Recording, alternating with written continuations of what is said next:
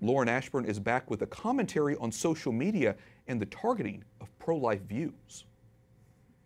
And now for my commentary. The White House just set up a website for people who feel they have been unfairly banned or penalized by Twitter or Facebook to file a complaint. Maybe I should do that. For the last two weeks, Twitter has restricted our pro life content. And what was our sin?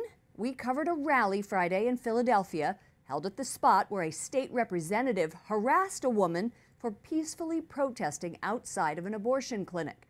When Alabama's governor signed into law the nation's most restrictive ban on abortion, both stories we posted were restricted as too sensitive.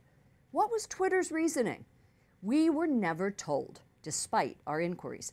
But I can't help but wonder whether stories on states allowing late term abortions until the time of birth ever ran afoul of the Twitter censors? Or is it only the pro life point of view that triggers their sensitivity meter? This is the kind of thing that is undermining confidence in social media companies where decisions sometimes seem arbitrary and politically biased. But don't worry, we'll keep tweeting.